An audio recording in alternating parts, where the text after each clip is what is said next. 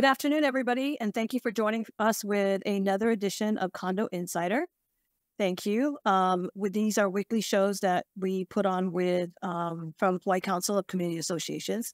So today I have with me a special guest um, that I discovered, um, and his name is Mo Sokyu. We're in Xiber Hawaii. Xiber Hawaii uh, um, in Pacific Business News, they are rated number three of our ISP service service um, in services in the state of Hawaii. So he's going to explain to us the services that he can offer, especially for the condos that do the bulk billing with Hawaiian Tel or Spectrum. So now we have a third person in the market that might be price competitive or even service competitive to what the, we're, we're traditionally always used to for all these years. So Mo, tell us a little bit about Xiber Hawaii. Well, first, um, can I uh, make a correction on the pronunciation of my last name? Quite all right. It's um, it's like okay, but put an S in front of it. Okay. Yes. I like sake. uh, no. anyway, Okay. um, so tell you a little bit about uh, Xiber Hawaii. Um, well, um, our roots go back a long way. Uh, the company was formed in 2002 under a different name called HDT. Uh, HDT stood for Hawaii Dialogics Telecom. Uh, it started out as a voice company and it evolved into a internet service provider around the 2005 2006 arena is when we built our network. Um, we're uh, what they call a CLEC. A CLEC stands for uh, Competitive Local Exchange Carrier. And that gives us a lot of advantages. Um, eh, we have what they call an interconnect agreement, where we have the ability to resell internet from other providers as well. Um, you know, the big names here in the island, the big carriers. So we can use um, their internet to resell to customers. And we can also use our own network. And to tell you a little bit about our own network, we're what they call a uh, fixed wireless provider, uh, where we use radio frequency to transport the internet throughout Honolulu. And our our own network uh, consists of from where we are located uh, at the IPA building, the Airport Industrial Park Association building at 33375 Koapaka Street here at the airport, and reaches all the way to Waikiki. So Metro Honolulu is our own network, um, and we consider ourselves carrier agnostic. So we like to use our own um, network to provide internet to commercial accounts, to commercial customers, and AOAOs. And um, if we can't hit it with our own network, if it's outer island or if it's uh, windward side or west side or far east side, Hawaii Kai, um, we use the other carriers' internet service and we resell it. So um, that provides us that carrier agnostic and also is a useful tool um, with a product um, that we provide as a part of our service that makes us unique that we've been providing for a while um, called SD WAN. Um, so to to tell you a little bit about why we did the name transformation to Xiber Hawaii, which we just rebranded this year in 2023. Um, we launched it in the Building Expo show in March of 2023. Was because in 2015 um, we spun off a sister company called Xiber, X I B E R, just Xiber Indianapolis, located in um, uh, Indianapolis, and they did uh, they did the same thing that we did. Um, fixed wireless internet. It's actually, um, as an internet service provider, as an ISP, we're technically known as a WISP, a WISP, which stands for Wireless Internet Service Provider. So um, Xiber Indy, uh, focusing on commercial internet and um, uh, condominiums and apartment buildings. In, in, in the mainland, they call them MDUs, multi-dwelling units. They were very, very successful in targeting the MDU community. And MDUs, those apartment buildings, they're not owned um, by condominiums, by the by the uh, owners of the condominiums and the associations. They're owned by corporations and businesses or individuals. So it's a it's a lot easier to to sell to them and for them to sign off because when they do the math, when they do the numbers, it really makes sense to do these uh, bulk internet proposals. So um, since 2015, the success of Xiber Indy has been so great. Uh, they've had, have seemed to have come up with a recipe to supply the bulk internet and TV uh, product to that um, vertical. And um, we decided um, to ride on their success, uh, their resources. They have the systems engineers, the network engineers that are based there and in other parts of the world for that matter. Uh, we use, we use um, that talent from um, different parts of the world um, to have this great company, um, Xiber Indianapolis. And we thought, well, why don't we take the success from Xiber Indy and bring it back home to Hawaii? We started here in 2002. And let's really um, not only focus on the commercial business, let's really go after the um, AOAO business here in the islands. So that's that's the reason for the new name as uh, Xiber Hawaii. We have uh, several press releases coming out in the next couple of weeks. We have radio spots that you'll be hearing on the radio talking about Xiber Hawaii. So tell us from um, what I've um, learned from you, it's not just internet service. You can also do telephone, which a lot of telephone are now through the internet, right? So tell us a little bit how about how that can work, because there's a lot of condos that are still on either Hawaiian Tel or some individuals might be on the Spectrum package deals. Um, how you can potentially um, save um, the condo building and maybe the individual residents some additional money. Yeah. Um, well, again, we started as as a voice company, and um, uh, the type of telephone service that we provide is is a VoIP service, um, voice over internet protocol um, phone service, which is very common in the industry. Um, am I allowed to talk about products and customers that we supply to, or? Mm-hmm. Okay, um, so we use a product called um, Metaswitch. It's um excellent product that got bought out by Microsoft, and it I can't speak well enough about it. It is it is the premier uh, VoIP product on the marketplace, owned by Microsoft, called Metaswitch. Uh, some of our large voice customers are um, HDS, Hawaii Dental Services, with I don't know hundreds of phones in their call center, and also HI-EMA, located in Diamond Head Crater. We have north of 120 uh, VoIP phones in there. For uh, the AOAO application, yes, it can be part of a, of a bundle if if the uh, tenants choose to have that. We're finding more and more though that uh, everyone is so uh, relied on the uh, mobile phones, cell phones, that um, not not as many are interested in in um, having a VoIP, but it is available. That's correct. Um, but usually you have the the management, the admin people still need a telephone. Oh, absolutely. Pretty much. Absolutely. So condos, when you start looking at your budgets and starts when your contracts come up for renewal, whether it be Spectrum or with Hawaiian Tel, you guys really should need to consider Xiber because they can offer some very competitive pricing. Um, and why don't you tell them about? Let's talk about the um, the little doodad that you have um, for in the event of a power. How you guys can really um, keep people from being bored, maybe.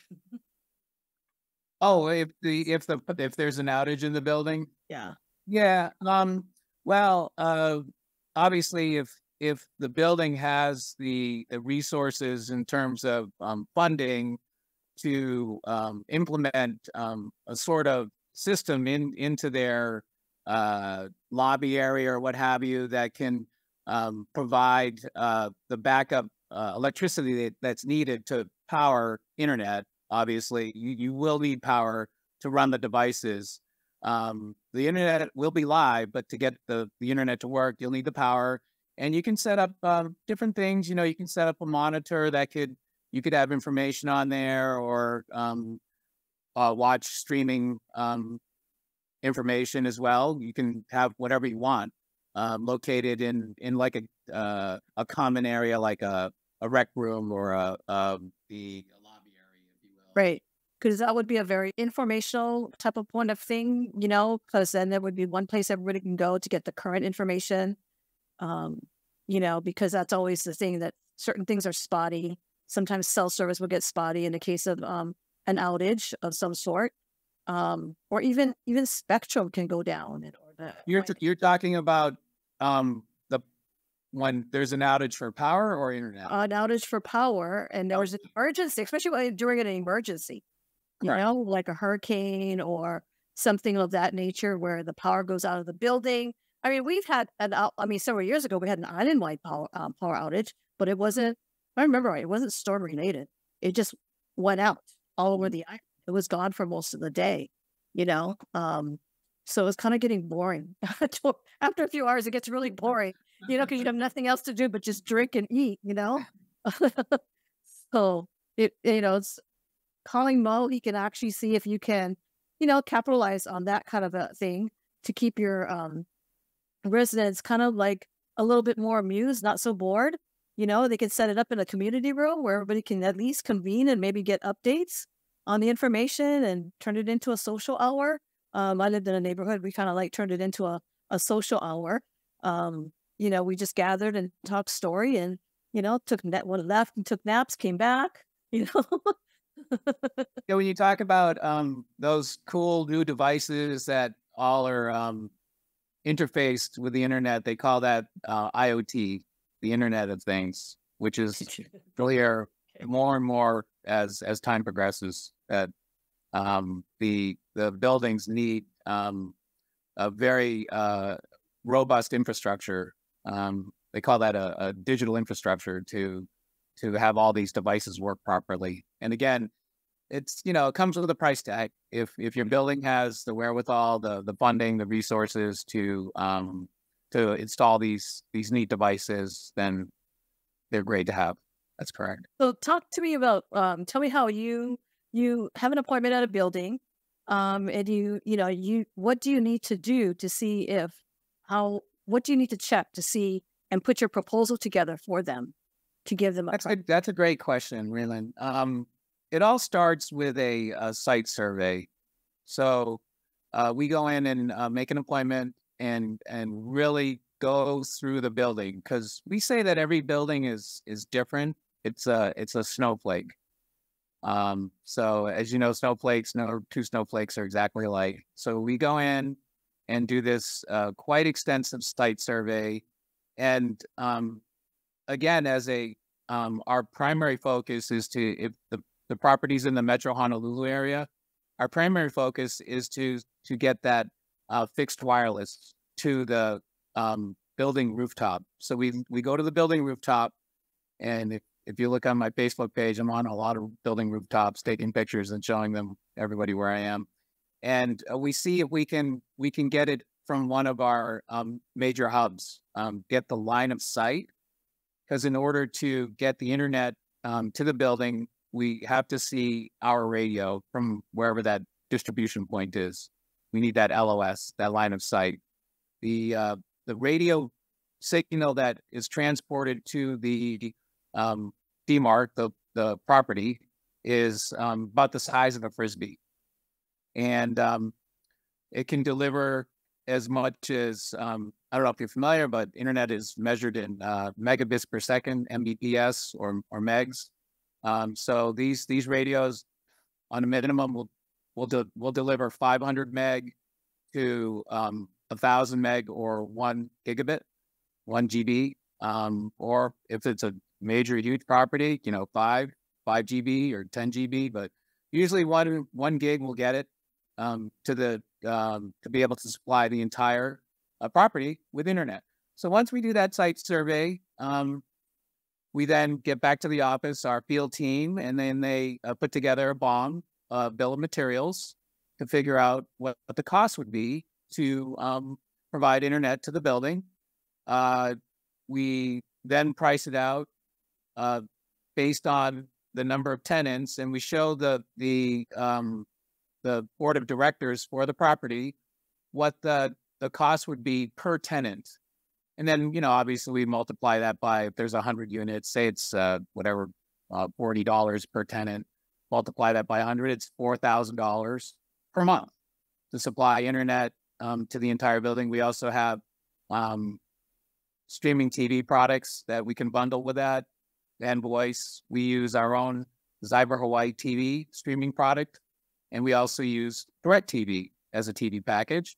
Or, you know, customer doesn't want the TV, we can just provide internet only and the customer can go seek out their own um, TV themselves. So you can keep compete just as just as much as Spectrum and Hawaiian Tel with their bulk billing. And like Spectrum has um I know for me, I mean they have um basic TV and we have Wi-Fi, um, which is included in our maintenance fees in that bulk billing package. Um, but you also have add-ons, um, depending on what the board wants in your other package packages that could be added on um, for TV service. Yeah, we offer we offer a basic package, which is entry level is a, a 500 M symmetrical service, um, and also a basic TV package. And then the the um, the upgrades are if they want higher speeds, we can offer 750 M symmetrical to one gig M, and that's just per tenant. And also the TV package has a premium package which offers uh, some movie channels as well. So you can compete with the other two. Yeah, we um our goal is everybody to recognize this as a third option uh, for bulk internet uh, in the AOAO space. Uh, the other providers offer a signing bonus or door fee to mm-hmm. become um, the provider. We do the same thing. We offer the same um, bonus in in in in, in a monetary thing, and the contracts are standard are five years, but we're noticing on the mainland that um, some of them are going up as as far as ten years or fifty years. Yeah, we signed uh, a property here in Hawaii for fifteen years. Wow, and that locks in that price. Correct. Correct. Wow. Yeah. Wow. Think about that on your on your budgets, people. Fifteen years, locking it in. yeah. Because as we know, everything's only goes just going up. So locking up price in for 15 years, that's that's awesome. That level pricing. Yes. Yeah. Wow. And so, so you know, I I know you talked about HI-EMA, um, and I think you do some hotels too, right? That's correct. Yeah. Um, Halekulani is is uh, one of our um, uh, premier hotel properties. Also, uh, Waikiki Resort Hotel owned by um, Korean Airlines on Coab. And speaking of which, um, did we did we want to talk about the SD WAN product that we have? Do we have time? Well, I wanted to mention too that you have a product, or with not with well, not a product with your Wi-Fi capabilities. There's other things that can be done, and that's going to come up on a future show about okay. the sensors. Oh, okay. Okay, yeah. so there's yeah. going to be a part two to this, but um, but that's going to take a little bit. What's your sensor? Yeah, um, but yeah, I didn't want to mention it because okay. uh, I need to get um, you know, a little bit of of okay from that property, you know, talk about that. But that's going to be on a future show where you have the capability of your product to bring in other things that the condo can use to help keep their property safe. Also, the maintenance of a of a building, you know, um, to improve on that um, ability for the condos, for the board of directors. And that refers back to the IoT, the Internet of Things. Okay. So an SD WAN is? SD WAN um, is what we uh, present in all of our proposals. There's two major, major uh, technology products that is available to AOAOs here in Hawaii that we've been doing with Xiber in Indianapolis for the last five years. These products have been around for about five years. First one is SD-WAN, and I know we're we're we're limited on time here, so I'll, I'll be real brief. Um, basically, you have our service that fixed wireless, correct, coming in through airwaves, and because of our interconnect agreement, we have um, uh, a, a, a, one of the major providers pri- providing a fiber line for internet, their service coming in. It, the billing comes to us, so it's not like they're getting a bill from from another carrier. Uh, so you have two internet services going into a building. And obviously, what is the biggest complaint about internet in down. any situation that it goes Yep. down. All right. So the SD WAN is a uh, device that um, measures in milliseconds who has the fastest speed and the lowest latency, and it picks that pathway. So you don't even know what service you're on. Are you on the Xiber Hawaii service, or you are are you on the major carrier service? Either way, you're on some sort of service that's providing internet to the users. Now, if there's an outage, the SD WAN has a, a feature to it called seamless failover. So it fails over to the other service that's up. So if we go down, the other carrier will be up. If the carrier goes down, we'll be up. It'll it'll go to to the one that's up. So you virtually will never have an outage because our service is coming through the air, the other one's coming through the ground. If, if a truck hits a pole or if construction cuts into a line and uh, breaks off the service, you're okay. Ours is in the air. You never know, but the uh, the the radios are rated up to 130 mile per hour winds. So you know, they're, they're hurricane proof, but whatever reason, you know, we, we're it's just it's technology. Technology can- can have its glitches. So if we go down, it'll it'll fail each other. And and both of our clients, um, Halekulani and HDS, have both experienced outages. But did they know that they had an outage? No, they did not because of the SD WAN and the seamless failover. which is But another component to being um uh, a backup to emergency. You know, because if you had it, you know, you'll still be able to get updates. You know, because typically there's certain TV stations that are always on doing some of these natural disasters and broadcasting. You know what's going on. So um, having that as, as a service would be um, beneficial to the condo building Oh, occupants. It's huge. It's um, it's redundancy. It's like having a backup generator for your building. You you won't, and with a backup generator, you won't lose power. With an SD WAN, you won't lose your internet connection.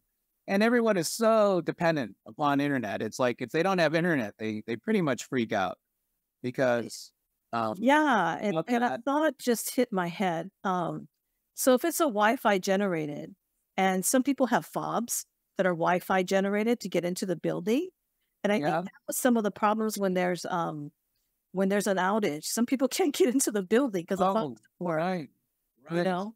So that's another solution that can be an, a door opener. There you go. A lot of condos. Okay, and also too, uh, if I can, Raelene, if I could talk about the other um, technology product that we use widely.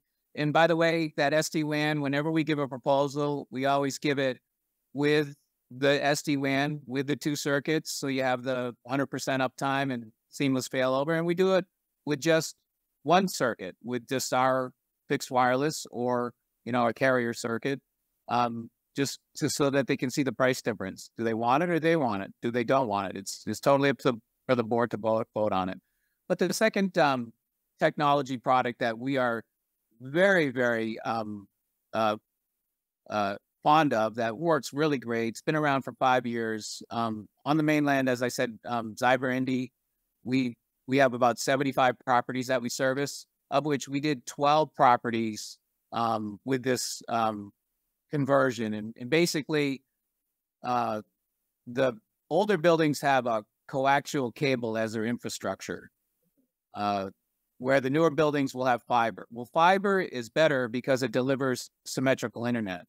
Symmetrical internet is where your upload speed matches your download speed. So when they quote speeds, when you hear that it's 500 by 500, that means it's symmetrical, the speeds. Whereas if it's a cable coax infrastructure in these older buildings, uh, they'll quote 500 by 20 or 500 by 30. So the download speed is the higher one, it's 500, but the upload, it'll be a lot a lower number. And and you need those upload speeds for live streaming, for uh, social media, uploading on social media, for uh, uploading large files. Um, if you're uploading to the cloud or sending files to your workplace or for school. So how do you do that in an older building? Well, you can pull fiber through the older building, but that's very, very expensive. There's a an off-the-shelf technology that we've been doing um, for the last five years. We just upgraded um, this year in January Hawaiian Monarch on Niu Street um, with this technology. And um, I won't say what it's called because you know we don't want our competitors to know about it. But basically, it's a it's a it's an adapter that you you you bolt on to the to into the um, telco closet where the cables are, where the coaxial cable is, and it converts the coaxial cable to function just like fiber so that you do get those symmetrical speeds. So with the existing cable infrastructure, you're getting the 500 by 500, the 750 by 750, the one gig by one gig without the heavy costs associated with that you would normally have to pay to retrofit an entire building with fiber, which is very, very costly. So it's at a fraction of the cost to have this really great technology um, we'll call it uh, a Xiber technology because you know we don't want to say what it is at this point. So and those are great. Those are that's a great thing to have for because you know a lot of people are still working remotely from home. Either yeah. they go to the office for a few days uh, for a couple hours and then they work remotely, or they only go to the office a couple days a week, but the rest their work is still working from home. You know that and and and just we look down the road, you know, with all this IoT, the Internet of Things, all these devices that are being used, uh, you know, AI, robotics, uh, smart home appliances. If you do not have that robust, stable uh, uh digital infrastructure in your building to supply this symmetrical internet, the the the that stuff is not going to work. You know, the buildings have to be upgraded to accommodate symmetrical internet. So do you want to pull fiber and spend, you know, mounds of money, or do you want to do it with this new technology? That's an adapter that we install um, quite often to these older buildings that have the coaxial cable infrastructure. Right. It's like it's like magic. I like to tell people it's a, it's a bolt-on adapter, and whoop, it's like magic. You uh, it's anything that's going to make us, you know, more productive, entertained so that we're not sitting there just staring at the walls, you know, um, and being able to have that flexibility of, you know, working from home, you know, yep, like absolutely. or you know, uh, school doing their schoolwork from home. Exactly. Yeah. Yeah. You need you need the high speeds. You need to be up all the time, and that's our goal at Xiber Hawaii to bring that to um, not only the commercial businesses but to the AOAO community. Okay. So thank you, Mo, for being on our show today. And I encourage all the board members to check them out. Uh, most of people's budgets might be done for the year, but it doesn't mean, but they should really um, think twice before they start re-sign up contracts, you know, and check you got check you out to see where your pricing is going to be um, for the building. So um, double check, especially when you're um, up for renewal. It's an opportune time to check it out and call Mo or visit Xiber Hawaii with an X, xiberhawaii.com. So thank you, Mo. I appreciate thank you, you taking the time. time. Show. This was wonderful. I hope I get asked back. yes, we have to do the other product. okay. Thank you. Have a good week. Aloha.